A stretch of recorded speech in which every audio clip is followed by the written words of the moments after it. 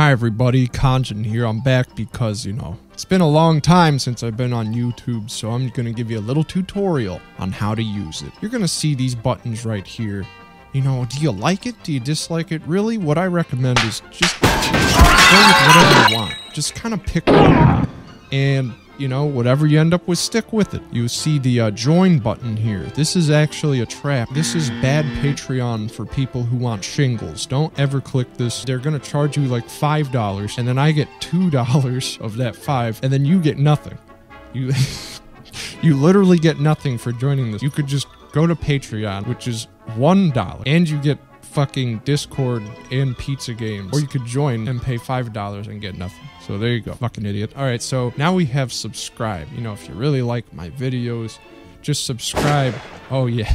Oh, we can't forget about this one. Okay, so some people foolishly believe that uh, when you hit subscribe, you're subscribed, but that's not true. You're only kind of subscribed. You see, to to really seal the deal, you gotta hit this fucking goddamn piece of shit bell.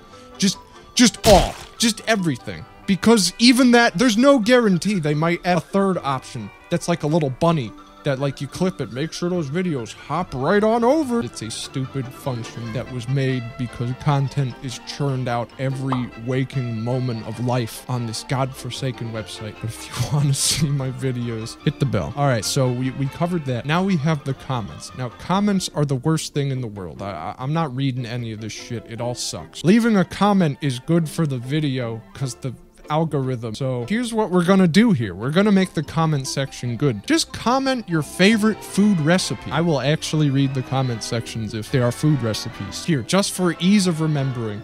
This is the fun zone. Just just do just do what you want. Don't hit join. You're a big idiot. Hit subscribe and then double bell fucking subscribe and you're good. And food recipe. That's what it's all about. I think with these handy tips, you too can uh,